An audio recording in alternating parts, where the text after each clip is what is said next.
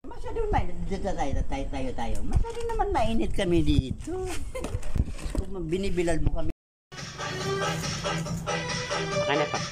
Hello guys, good afternoon po mga ka-every friends. So ito na po yung resulta ng ating ginawang uh, hair rebonding with uh, Packers Hair Botox Complex sa buhok ni client.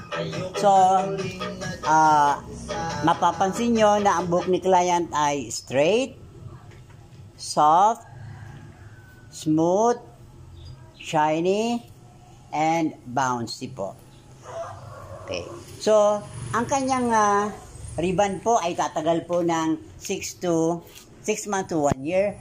Uh, 6 uh, 1 year kung talagang alagaan ng uh, regularly ang kanyang buhok. Okay. Pero kung laging conditioner, aabot lamang po ng 6 months. So, ito na po ito na po guys yung uh, pinaka resulta. Okay?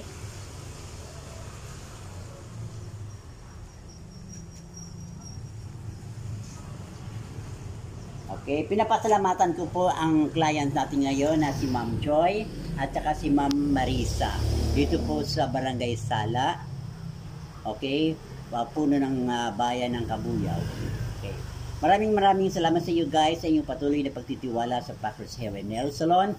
Kung gusto niyo po magpa-home service, pwede po kayo mag-text sa 0951 00 86651 o dili naman kaya ay kayo mag-message sa akin sa aking messenger o uh, tingnan niyo po yung aking um, YouTube channel Rosalino Pacres at ang aking Facebook page Pacres Hair and Nail Salon.